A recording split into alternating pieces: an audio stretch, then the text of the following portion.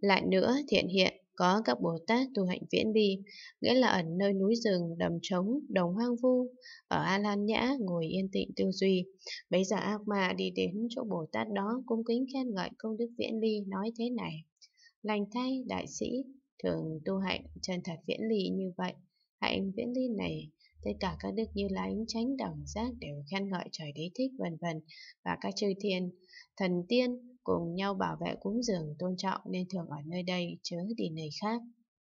Thiện hiện nên biết ta không khen ngợi các chúng Bồ Tát thường ưa thích tỉnh tịch ở A Lan Nhã hoặc ở núi rừng đầm trống đồng hoang vu ngồi yên tịnh tư duy tu hạnh viễn ly. Khi ấy thiện hiện bạch Phật, kính bạch Thế Tôn, các chúng Bồ Tát nên tu tập những hạnh chân thật viễn ly như thế nào mà Phật Thế Tôn này dạy ta chẳng khen ngợi các chúng Bồ Tát thường ưa thích tịch tịnh ở A Lan Nhã, núi rừng đồng trống của yên tịnh tư duy, tu hạnh viễn ly. Phật bảo thiện hiện,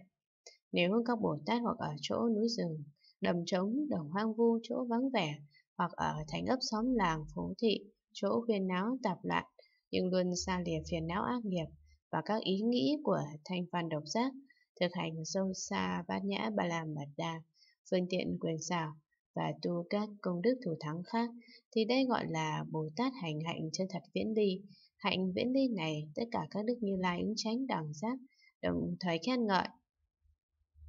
Chư Phật Thế Tôn đều cho phép các chúng Bồ Tát thường nên tu học, dù ngày hay đêm phải tránh tư duy tinh tấn tu hành pháp viễn ly này. Đây gọi là Bồ Tát tu hạnh viễn ly. Hạnh viễn ly này không xen lẫn ý nghĩ thành phần độc giác không xen lẫn tất cả phiền não ác nghiệp, ra lìa các sự huyễn não tạp loạn, hoàn toàn thanh tịnh, làm cho các Bồ Tát môi chứng quả vị vô thượng chánh đẳng Bồ Đề có thể cứu độ các hữu tình cùng tận thời vị lai. Thiện hiện nên biết, người ở ẩn, trốn núi rừng đầm trống, đồng hoang vu, bỏ đồ nằm tốt ngồi yên tịnh tư duy, mà được mà khen ngợi thì chẳng phải hạnh chân thật viễn vi của các Bồ Tát, vì sao? Vì hạnh viễn ly đó còn có huyên não tạp loạn, nghĩa là Bồ Tát hoặc xen lẫn phiền não ác nghiệp, hoặc xen lẫn ý nghĩ thành văn độc giác. Đối với bát nhã và làm mật đa sâu xa phương tiện thiện xảo, không thể tinh tấn lãnh thọ tu học nên không thể viên mãn trí nhất thiết trí. Thiện hiện nên biết có các Bồ Tát, mặc dầu ưa tu hành pháp hạnh viễn ly, được mà khen ngợi, nhưng danh kiêu mạn tâm chẳng thanh tịnh chê bai khinh miệt các chúng đại Bồ Tát khác, nghĩa là có chúng đại Bồ Tát tuy ở thành ấp xóm làng phố thị, nhưng tâm thanh tịnh, không gian lẫn các thứ phiền não ác nghiệp và các ý nghĩ thành phần độc xác, tinh tấn, tù tập, bát nhã, ba la mật đa và vô lượng pháp bồ đề phần khác, thành thục hữu tình nghiêm tịnh cõi Phật, tuy ở chỗ ồn ào náo nhiệt mà tâm vẫn vắng lặng,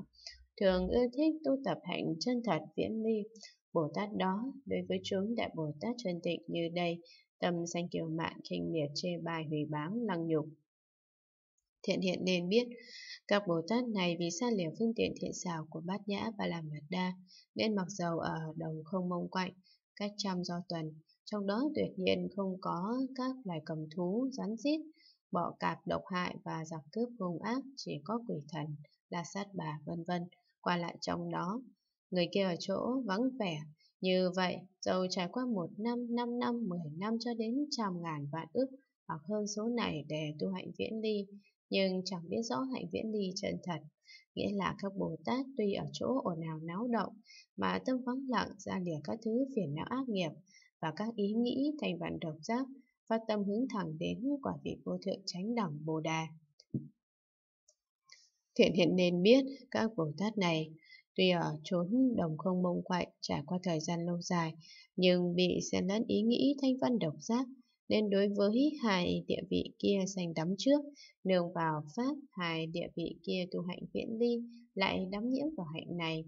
Bồ Tát đó tuy tu hạnh viễn ly như vậy, nhưng chẳng được gọi là thuận với tâm của chư Phật. Thiện hiện nên biết hạnh viễn ly chân thật của các chúng Bồ Tát mà được ta khen ngợi, các Bồ Tát này đều chẳng thành tựu. Thì họ đối với hạnh viễn ly chân thật cũng không thấy có hành tướng giống nhau. Vì sao? Vì Bồ Tát này đối với hạnh viễn ly chân thật này chẳng thích, chỉ ưa siêng tu hạnh viễn ly xuông của thanh văn độc giác. Thiền hiện nên biết các Bồ Tát này khi tu hạnh không viễn ly chân thật mà đến giữa không trung vui mừng khen ngợi bảo. Lành thay, lành thay đại sĩ, ngày riêng tu hạnh viễn ly chân thật, hạnh viễn ly này được các đức như lai ứng chánh đẳng giác khen ngợi, ngài đối với hạnh này nên siêng năng tu học sẽ mau chứng quả vị vô thượng chánh đẳng Bồ Đà. Thiện hiện nên biết các Bồ Tát này chấp trước vào sự tu hành pháp viễn ly của nhị thừa như vậy cho là hơn hết, nên kinh chê miệt thị vị trụ Bồ Tát thừa, tuy ở chỗ ồn náo và tầm vắng lặng, thành tựu thiện pháp. Các bí sô thừa Bồ Tát kia chẳng thể tu hạnh viễn ly, thân ở chỗ ồn náo, tâm không tịch tịnh, không tỉnh thận theo thiện pháp, thiện hiện nên biết. Các Bồ Tát này đối với các Đại Bồ Tát hành hạnh viễn ly chân thật mà được Phật đã khen ngợi thì lại khinh chê miệt thị, bảo là chỗ ổn náo tâm chẳng vắng lặng không thể siêng năng tu hạnh viễn ly chân thật. Còn đối với các Đại Bồ Tát thực hành theo hạnh ổn tạp chân thật, các đức như lai không khen ngợi thì lại tôn trọng khen ngợi bảo tâm người đó vắng lặng không ổn náo có thể tu hành đúng đắn hạnh viễn ly chân thật.